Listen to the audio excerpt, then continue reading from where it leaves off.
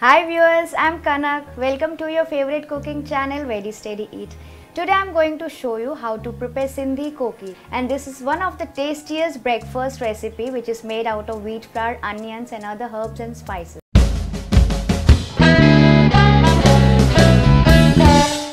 Take the flour in a bowl and add the oil to it and mix well with the help of your hands until the oil disappears in the flour. Now mix in the onions, green chilies, fresh coriander and mix well. Now also add in the salt, fenugreek leaves, red chili powder, black pepper powder, cumin seeds, carom seeds and knead a stiff dough by adding little little water. Make sure to make a semi-hard dough out of it. Don't make the dough very soft or loose. Now let it rest for around 10 minutes and again put a teaspoon of oil and knead the dough again. Now take a small portion of the dough and roll it with the help of your hands to make a round ball. Now choose any flat surface of your kitchen and with the help of some dry flour, roll it to make a round disc just like you make for parathas or roti. Don't make it very thin, keep it little on the thicker side. Once it is rolled, Prick it with the help of a fork all over to cook it evenly. Now heat a tawa or a non-stick pan and grease it with some ghee on top. Now gently place out the rolled koki on it and roast it from both the sides evenly by applying ghee.